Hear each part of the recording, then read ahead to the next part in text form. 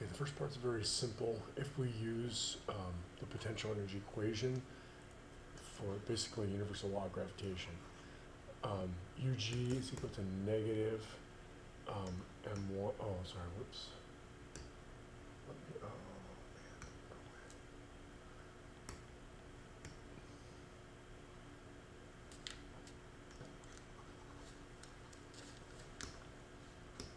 Okay. Big G, M1, M2 over R. Okay, it's not over R squared. Potential energy is over R. Um, in case you're wondering why, on a little side note, I will say, remember that F sub G was equal to big G M1, M2 over R squared, right? Well, what is, whoops, what is PEG? It's equal to force, um, force times distance, right? It's like work.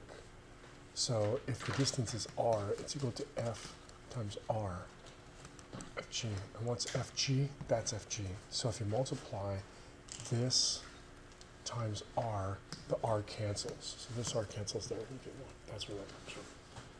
So back to here, we're just going to plug in stuff now. Uh, that's 6.67 times 10 to the minus 11. Um, and it's mm, newtons meter squared per kilogram squared. and then multiplying multiply that by the mass of the Earth, which is 5.98 times 10 to the 24. Multiplying that by the mass of the moon, which is 7.35 times 10 to the 22. And then we're dividing all of that by 3.84 times 10 to the 8th meters. So 6.67 times 10 to the minus 11 times 5.98 times 10 to the 24th times 7.35 times 10 to the 22nd and then dividing all that by 3.84 times 10 to the 8th and then we get 7.63 times 10 to the 28 Newton, or sorry, just kidding, not Newtons, but in fact, I guess I could put Newton meters if I wanted to, but uh, joules would be that potential energy. Now, would I expect that the moon's kinetic energy to be less or greater? Do you see there'd be less? If it was greater, the moon wouldn't stay here anymore. It's, it has to be less otherwise. Um, if it exceeds the potential energy between Earth and the moon, the moon leaves. Now, the kinetic energy of the moon is going to be 1 half mv squared. How fast does the moon rotate? It goes, um, what is it, like once every 28 days, I think?